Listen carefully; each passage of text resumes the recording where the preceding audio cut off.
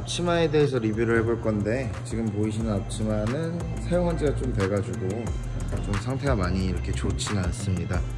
일주일 했는데 이렇게 돼버렸네요. 손님이 많아가지고. 자, 이 앞치마는 여기 보이시는 공예 이프론의 제품이고요. 이 앞치마를 되게 사고 싶었는데 이제 좀 구매를 미루다가 이번에 사게 돼서 리뷰를 하려고 합니다. 보시면 지금 5월달 올리는 시기로는 이미 6월달이 됐겠지만 5월달 이렇게 무료 각인 서비스도 해주고요. 일단 이 앞치마 같은 경우는 강석현 셰프님이라는 분이 만든 앞치마고요. 네, 셰프님이 만들어서 그런지 이런 절개 부분이나 아니면 이런 스트랩의 위치 같은 것도 되게 잘 나와 있습니다.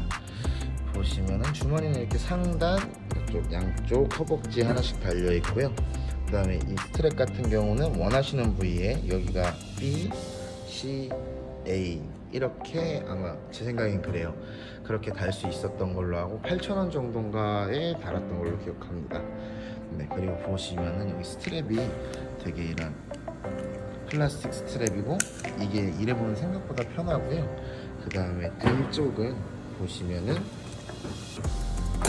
H strap. 이게 장시간 일해도 무리가 없는 strap이거든요. 그래서 H 스트랩을 적용을 했고 그럼 일단 입은 모습을 보여드리면서 다시 설명해 드릴게요. 그리고 마지막으로 장단점 얘기하면서 보내드릴게요. 보시면은 이 나눠진 절개가 활동하기 되게 편하고요.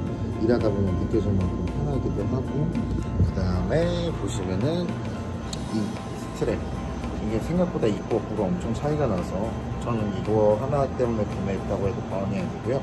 그 다음에 등 쪽에 H 스트랩 무료 관리 서비스. 그리고 원래 재질이 이게 왁스 코팅 재질이었는데 이게 변경이 돼가지고 일반 캔버스 재질로 바뀌었고요. 그래서 좀 많이 아쉽습니다. 일단 지금까지 우리는 더블러블이었습니다